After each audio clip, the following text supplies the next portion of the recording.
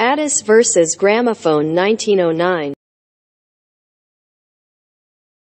The claimant was employed as a manager by the defendant. The defendant in breach of contract dispensed with his services and replaced him with a new manager. The claimant brought an action for breach of contract claiming that the level of damages should reflect the circumstances in which he was dismissed damaged his reputation and ability to find suitable employment. Contract law seeks to put the parties in the position they would have been in had the contract been performed. He was therefore limited to claiming wages and loss of commission during the contractually agreed notice period.